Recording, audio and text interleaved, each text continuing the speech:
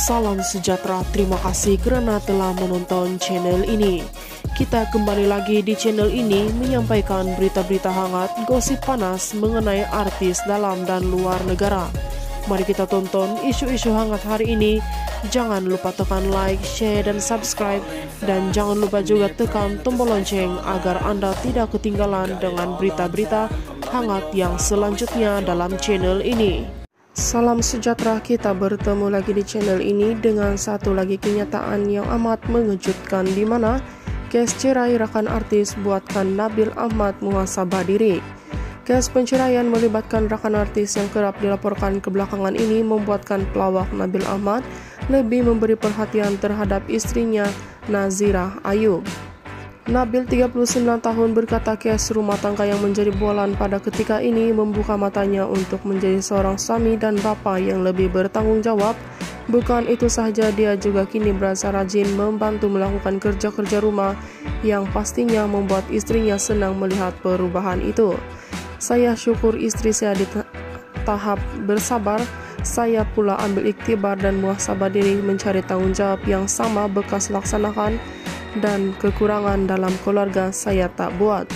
Selama ini saya ingat tugas saya cari nafkah dan berlagak raja, tapi sekarang saya macam lebih beri perhatian pada istri saya. Dia gembira dengan perubahan saya, katanya. Nabil berfungsi perkara itu ketika ditemui pembukaan Jekyll Shah Alam pada pagi Rabu. Dalam pada itu, Nabil juga bersyukur apabila istrinya banyak bersabar dengan karenanya selain menerima kekurangan sepanjang berkawin.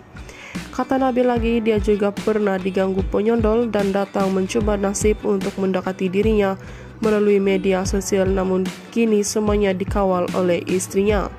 Antara saya dengan dia, istri saya yang banyak bersabar terima kekurangan dan nasihat dan menasihati saya. Message cobaan menyondol biasa na nasib baik bukan saya yang uruskan dia bagi saya TikTok pun sebab boleh buat duit tapi saya tak tahu keadaan dia macam mana karena dia yang jaga. Masa saya pegang memang ada ujian-ujian datang nasib baik tak layan katanya lagi. Mengulas lanjut mengenai perkara itu bapa kepada tiga orang cahaya mata itu sudah mendapat bahwa kes pencerian kini diibaratkan sebagai satu tren yang semakin berleluasa dia sebagai bapa bagaimanapun bimbang sekiranya perkara itu memberi kesan kepada mental dan anak-anak pasangan mereka. Sekarang ini macam dah jadi satu tren boleh rupanya tuntut ini dan itu tapi sekarang itu lebih banyak kepada pentingkan diri sebab kita ada anak-anak dan kita boleh fikir masa depan anak-anak sendiri penderitaan mental mereka macam mana ujarnya.